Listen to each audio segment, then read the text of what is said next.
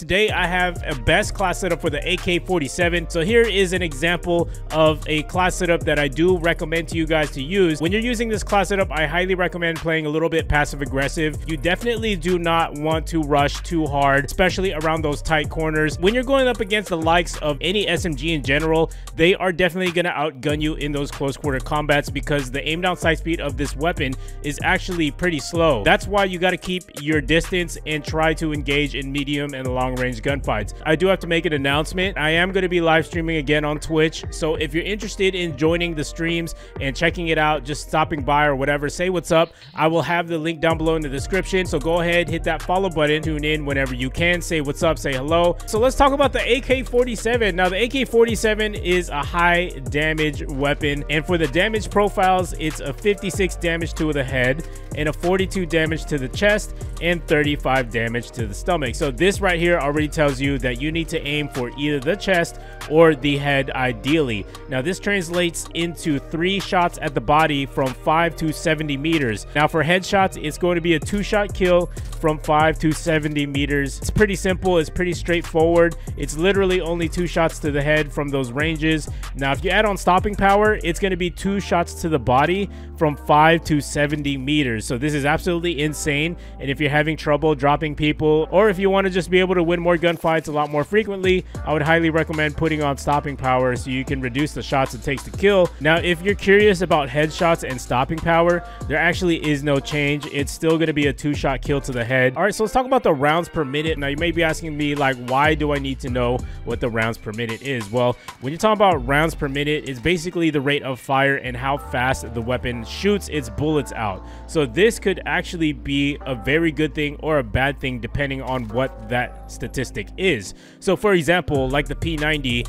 it takes like six shots to kill from a certain range, which is absolutely abysmal, and you'll probably get a lot of hit markers but it has a really high fire rate and the time to kill at certain distances are very, very minimal. So that means that you would melt enemies regardless because of its very high fire rate. Now for the AK-47, for example, it's got a 555 rate of fire. So this is actually pretty bad and the time to kill is going to be very slow. So the time to kill is going to be 216 milliseconds for body shots at any range between 5 to 70 meters. And for headshots, it dramatically reduces to 108 milliseconds from 5 to 70 meters. So right away, this tells you that there's going to be a lot of pre-aiming involved as well as trying to anticipate the opponent's movement because if you're able to anticipate the opponent's movement and pre-aim around those corners and kill them before they get a chance to aim in and shoot at you, you're going to be at a great advantage with the two to three shot kill. So one notable attachment is the 5.45 by 39 millimeter mags. This is a magazine that increases your fire rate as well as your aiming recoil control,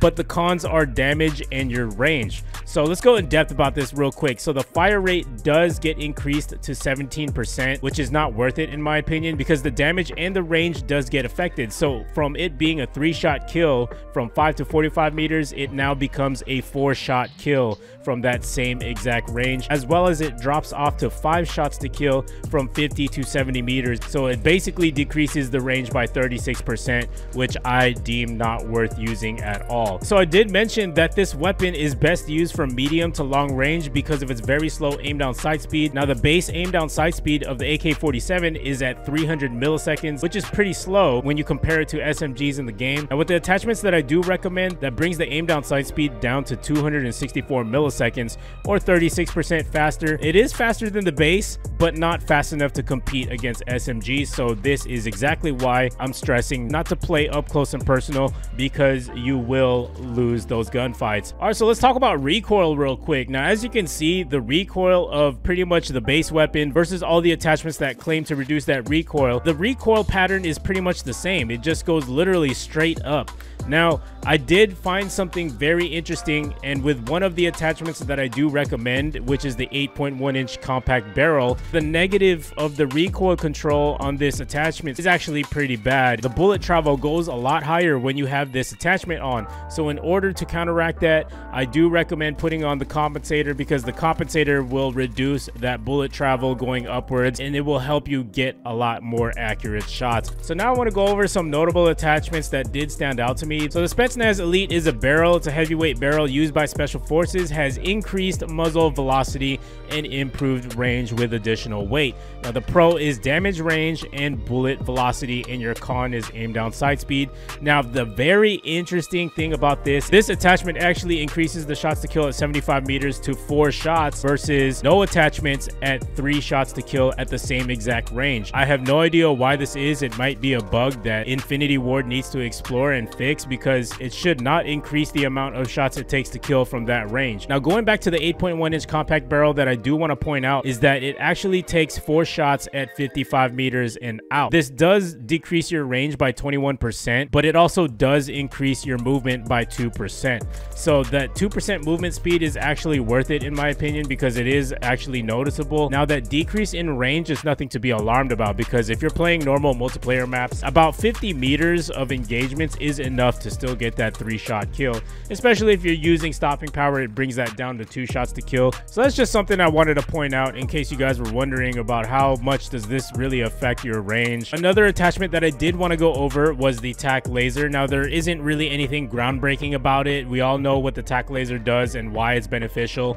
But for this specific class, I chose not to use tac laser because since we're playing from medium to long ranges and we're pre-aiming constantly, our laser is going to get exposed and that's why I felt it's not necessary. Because while I was testing out different attachments I saw in my kill cam that I died because the enemy saw where my green laser was coming from and he anticipated my movement so that deemed it not worth using. So that's why I don't recommend putting on the tac laser on a long range weapon such as the AK-47 for the last and final attachment I wanted to go over it was the skeleton stock. So this one will give you a 9.8% faster aim down sight strafe speed.